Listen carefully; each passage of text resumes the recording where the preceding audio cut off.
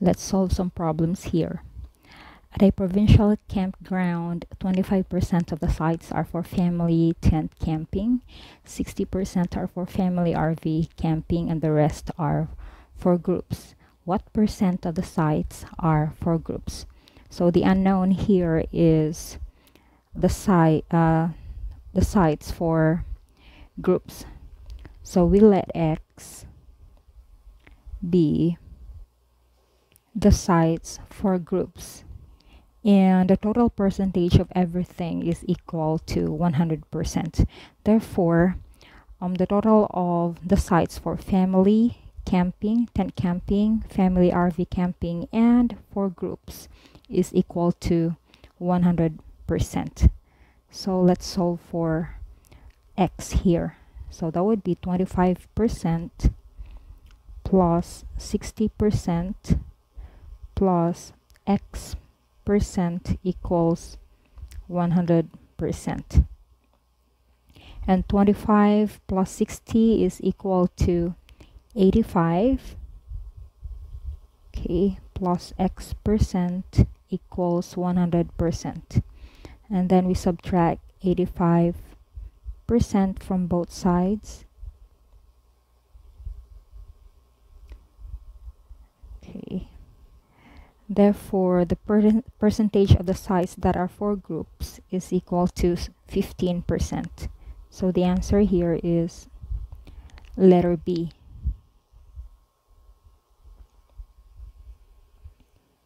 Which number comes next in the following sequence? 1, 2, 4, 8, 16. So in this series or sequence, we just have to multiply the previous number by 2 to get the next number. So 1 times 2 equals 2, 2 times 2 equals 4, 4 times 2 equals 8, 8 times 2 equals 16, and so on. Therefore, we just have to multiply 16 by 2 to get the next number, which is equal to 32. So our answer here is letter B. Which number comes next in the following sequence? Negative 3, 9, negative 5, 25, negative 7, 49. So um, we can notice here that the numbers 3, 5, 7, or negative 3, negative 5, negative 7 rather, are odd numbers. And 9, 25, and 49 are perfect squares and they are just the result of squaring the previous number. So the second number here in the uh, sequence is 9 and 9 is the product of squaring the first number which is negative 3. Negative 3 squared is equal to 9 and then the third number is negative 5 which is the next odd number after negative 3 and the fourth number is 25 and 25 is the product of squaring the third number which is negative 5 and the fifth number here is negative 7 which is the next odd number after negative 5 and the sixth number is 49 which is just the product of squaring the fifth number. So that is negative 7 squared is equal to 49. Therefore, the next number in the sequence must be negative 9. This should be negative 9, which is the next odd number after negative 7. So the answer here is letter C.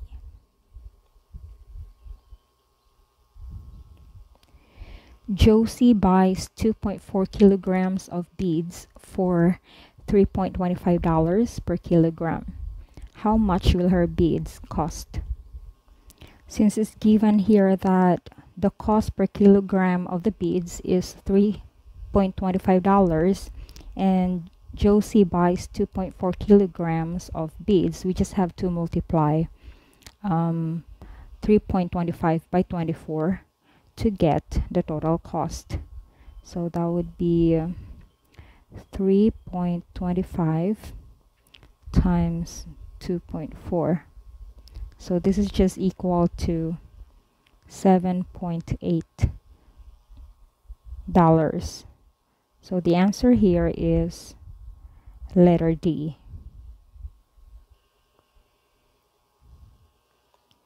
The number of moons around a planet is five times more than the number of rings. Uranus has 15 moons. How many rings does the planet have? So it says here that the number of moons is, okay, number of moons is five times more than the number of rings. So that is five times the number of rings. And in here, we can solve for the number of rings uh, per moon. So that would be for every ring, you just have to divide the number of moons by 5. And Uranus here has 15 moons. So we just have to divide 15 by 5. So number of rings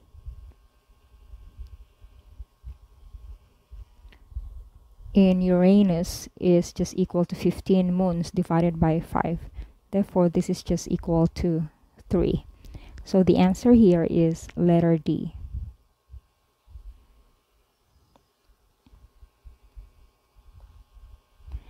Molly increased her original score as a bowler by 20%, giving her a new score of 75. What was her original score?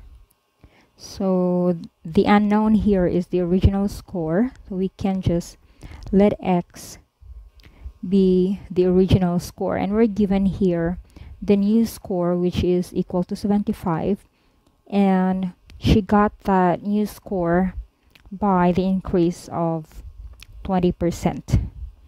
So that would be the new score is just equal to the original score plus 20% of the original score.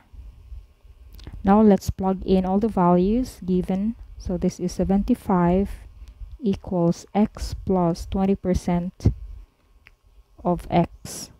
So this is just 75 equals x plus 0.20 x. So 75 is just equal to 1.20 x and we can solve for x by dividing both sides by 1.20. So this is just equal to 7.5 over 1.20 and that is just equal to 62.5 since you're not allowed to use the calculator so you have to do this manually. You can use long division. So the answer here is letter C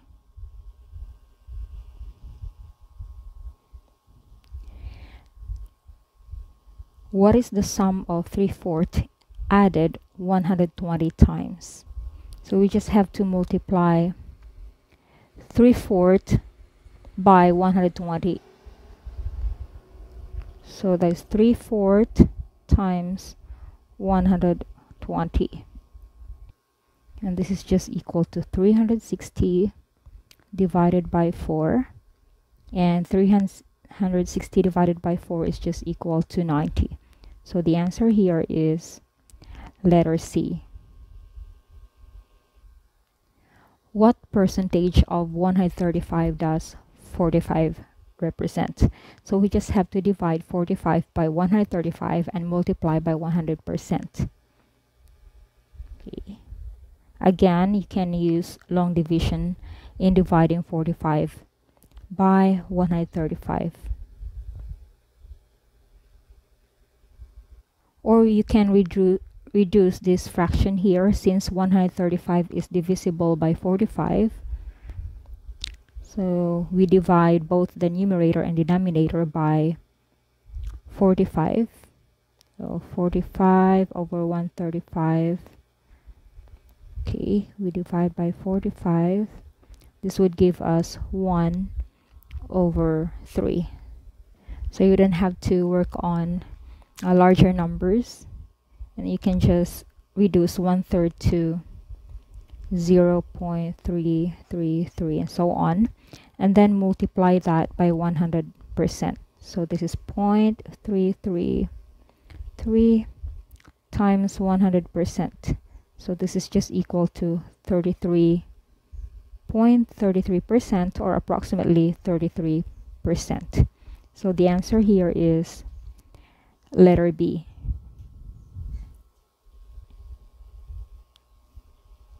Every second, a colony of viruses quadruples its number.